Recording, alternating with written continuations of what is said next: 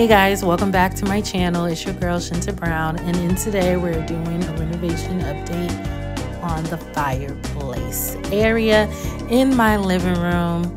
Watch us transform this fireplace into what you're going to see at the end of this video.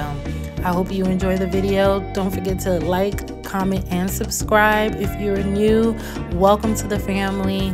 And if you've already been here and you're sticking with me, then I love you.